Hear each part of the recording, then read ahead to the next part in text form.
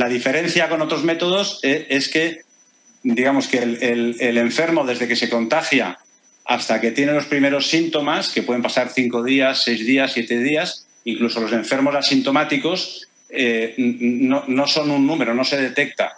En cambio, con este sistema, desde el momento que te contagias, tú ya eh, bueno, produces, excretas unos, genomas del virus que ya son detectables a partir de los primeros días, con lo cual es una detección eh, temprana.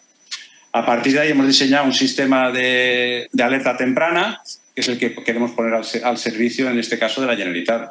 La idea un poco es eh, cederles una parte grande de nuestra capacidad para que puedan utilizarlo eh, pues desde ahora ya hasta, pues entendemos, por lo menos hasta final de año que entendemos que durará. Si, si hay que hacerlo más, pues se hace más.